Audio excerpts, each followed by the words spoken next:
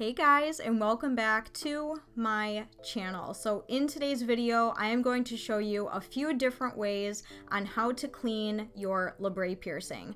Now this goes for any lip piercing but this one is centered around my labret because it is my newest piercing.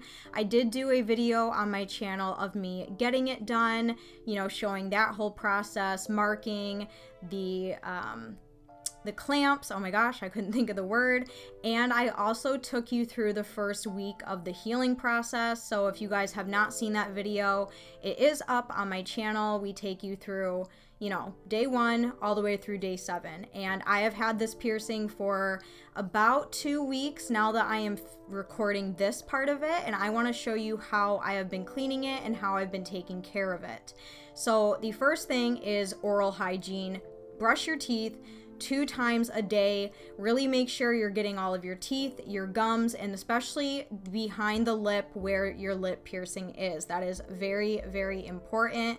Now, you want to make sure you are using a new toothbrush, a soft bristled toothbrush, and you want to go around where your lip is. So, kind of what I am doing in this clip. It's not the most flattering or cute thing I've ever done on the internet, but it's effective and you need to do this because it makes sure you're getting all that bacteria off.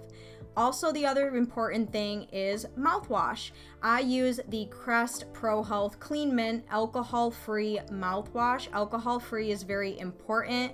If you do not have alcohol free, it's not a huge deal. Just make sure you are diluting it with water 50 50. So, this mouthwash you're gonna wanna use every morning, every night, every time after you eat something, drink something other than water, and smoke. Now, you don't have to do this for the entire life of of the piercing, but during that crucial healing stage, mouthwash is definitely important. It'll kill all of those germs around the inside of the piercing. Because with oral piercings, you want to clean the inside and the outside. So it's a lot more work than anything else.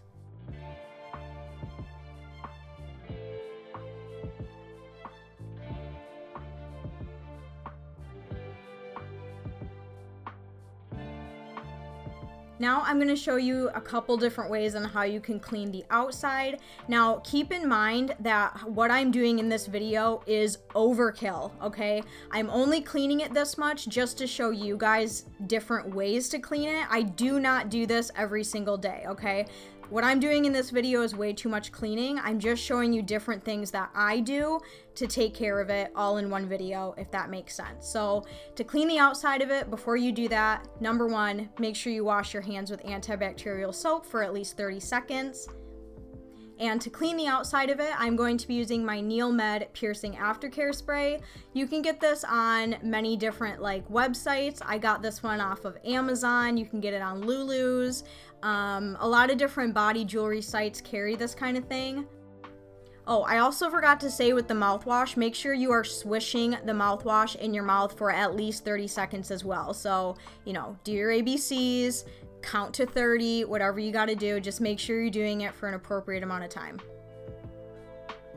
So the thing I like most about this spray is the nozzle on it. You can use it if it's upside down, diagonal, inverted angles. That's why I like this spray so much because sometimes you have to kind of get it at a weird angle for it to work right. So this is the best one for that. So to clean the outside of it, I basically just grab a clean tissue, hold it underneath my chin, and I spray the outside of the piercing with this spray really effective. It keeps it really clean. So I will do this one to two times a day to keep it clean. And you can also do the same thing on the inside.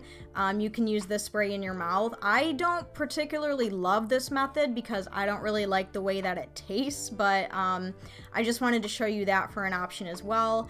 You can also use a Q-tip to clean the outside of it as well. Um, a lot of people frown down on Q-tips when it comes to cleaning piercings, but I've personally never had an issue with it. This is just another option you can use to help clean it and get rid of the crusties. And then the very last way I'm going to show you how you can clean it. This is most effective in the shower, But again, you're gonna wanna keep a bottle of antibacterial soap in the shower and you're gonna wanna scrub, well, not scrub, but lightly clean the outside of it with the antibacterial soap. Now, I'm not gonna take you in the shower with me, obviously, so I'm gonna show you outside of the shower. So get the area nice and wet use the antibacterial soap and lightly wash the outside of it. I'm being a little bit more rough, I guess, than I usually would because it is healing and I'm not having any pain. So I just make sure that I'm going around the barbell, around the entry, making sure that I'm getting it nice and clean, making sure I'm getting all of those crusties off. And then you're gonna wanna rinse it really, really well with water. And you're also gonna wanna make sure that you dry it really, really well. Oxygen is going to be your number one healer for all of this. And don't use a nasty used hand towel. Paper towel is the best, but if you have to use a hand towel, make sure it is a new, clean, dry one. And just make sure you lightly dab it dry. You don't want any leftover water hanging out there. Alrighty guys, and those are all of the ways that you can clean your lip piercing yourself at home for a smooth and fast healing process. I really hope you guys enjoyed this video. Give a huge thumbs up, make sure you subscribe, and I will see you very soon in my next video. Happy healing! Bye!